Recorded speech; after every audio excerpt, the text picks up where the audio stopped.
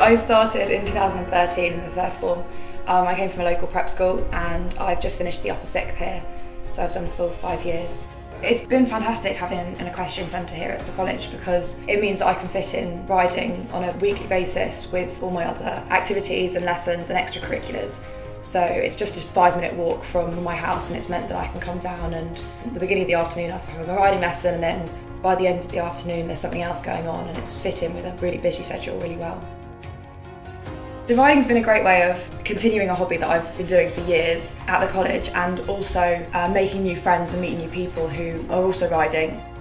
I've also been able to go out of the college and take part in competitions locally as well as the internal competitions that they hold here at the centre which has been really great. The staff at the centre have been fantastic. Nat runs the centre on a daily basis and She's also my instructor and she's been so fantastic in helping me to develop my riding and really focus in on goals that we've set.